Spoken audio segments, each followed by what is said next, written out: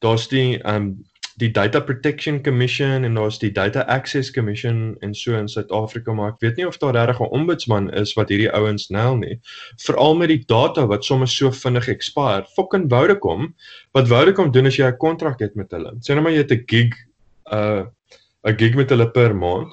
Jou gig verval die 15de nou koop jy nog 'n gig né? Nou teen die einde van daai maand het jy sê net maar 500 meg oor van daai tweede gig maar wat gebeur is daai 500 meg gaan nou expire op die 15de maar hulle gebruik nie eers daai 500 meg nie. Hulle gebruik eers jou maandelikse data. Want hulle wil hê daai 500 meg moet ook expire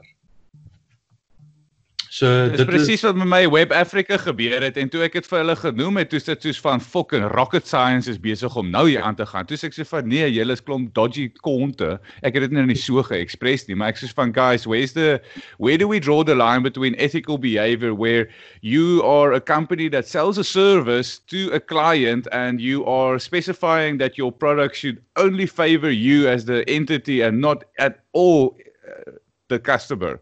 En uh,